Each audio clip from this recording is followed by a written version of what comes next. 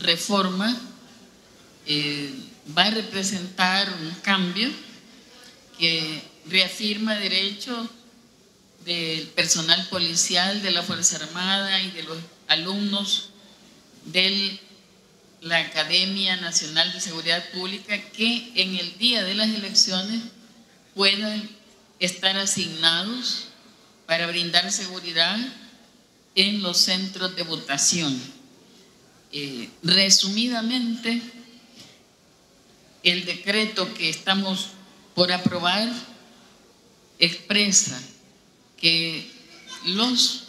agentes de la PNC, los estudiantes de la academia que estén asignados a labores de seguridad en un centro de votación o miembros de la Fuerza Armada destacados a lo mismo, van a poder ejercer el sufragio eh, en las mismas condiciones que lo hacen los miembros de juntas receptoras de voto,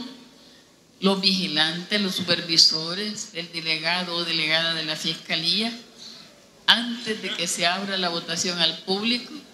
y que podrán votar indistintamente del origen o donde dice su DUI que viven, si la elección es presidencial. Van a poder ejercer el voto por diputados a la Asamblea Legislativa si su DUI corresponde a uno de los municipios del departamento donde estén destacados y van a poder ejercer el sufragio en favor de un consejo municipal si su DUI dice que son vecinos del municipio donde están realizando las labores de seguridad. Eh, otro cambio importante que busca hacer más ágil el proceso de votación es que en los centros en los que se cuente con más de 20 juntas receptores de voto, los supervisores podrán ejercer el sufragio también antes de empezar la votación al público en la mesa número 2 o en la segunda mesa del respectivo centro. La idea es que el proceso sea más ágil. Eh, quisiera reconocer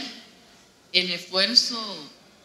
de nuestros asesores y asesoras de los distintos grupos parlamentarios que durante varias semanas hicieron un trabajo eh, muy adecuado, muy eh, conforme a lo que la Constitución establece sobre los principios de soberanía popular, representación, pluralismo y eh, que quede claro ante este pleno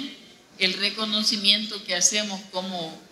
eh, Comisión de Reformas Electorales y Constitucionales al trabajo profesional de nuestros asesores y de nuestra asesora técnica. Muchas gracias.